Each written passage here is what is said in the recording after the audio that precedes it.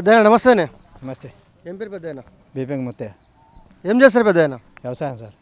అంటే వ్యవసాయం ఎంత ఉంది ఆరు ఎకరా ఉంటుంది. అరెకరం ఉన్నది. అంటే అరెకరం ఏం పండిస్తావే వరిసేను వరిసేను అంటే అరెకరం అంటే అరెకరం వ్యవసాయం పెట్టుకుంటావు. మిగతా మిగతా వ్యవసాయం అయిపోయింది నాటేసినావు.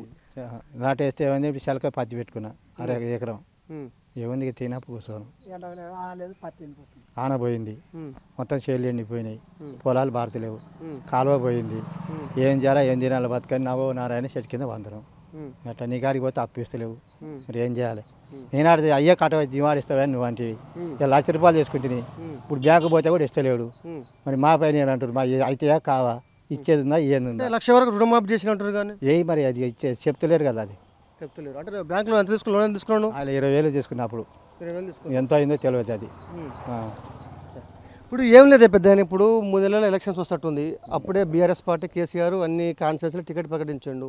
నల్గొండలో బీఆర్ఎస్ పార్టీ నుంచి కంచెల భూపాల్ రెడ్డి టికెట్ ఇస్తానని చెప్పినాడు. కాంగ్రెస్ పార్టీ నుంచి కోమటిరెడ్డి వెంకరెడ్డి పోటీ చేస్తా అంటున్నాడు పిల్లి రామరాజు నేను రెబల్గా పోటీ చేస్తా అంటున్నాడు ఆ, మన బీజేపీ నుంచి మాధవని శ్రీనివాస్ కూడా పోటీలో ఉన్నారు.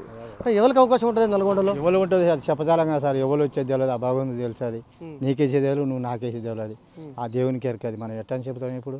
క్యాజువల్గా ఎందుకంటే ఇప్పుడు పార్టీలు అంతా అడవుడు స్టార్ట్ అయినాయి ఇక.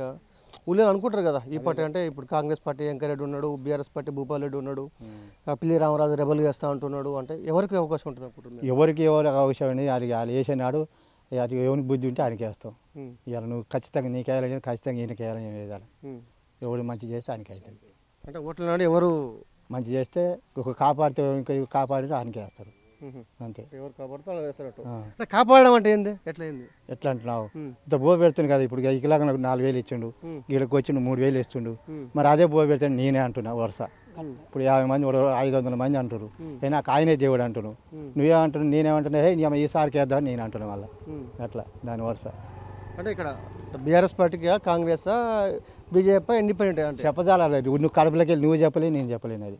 అయాసం నువ్వు చెప్పలే నేను చెప్పలేను. డాక్టర్ ఏమనేది చూస్తాడు సూది చేస్తాడు. దాని తప్ప ఏం లేదు ఇక? గోళీలు రాస్తాడు ఐదు వేలు ఐదు వందలు గోళీలు రాస్తాడు. టీటీ మీ ఇస్తాడు కథంగా పోయి అంటాడు. ఇక్కడ దెబ్బదాన్ని మార్క పెడితే కట్టు కడితే వెళ్తాడు దాని అంటే ఏ పార్టీ ఇప్పుడు చెప్పలే అంటావు? ఏది పాటికి చెప్పలేము మనం. నిర్ణయం చేయలేం కదా మనం. Okay okay thank you.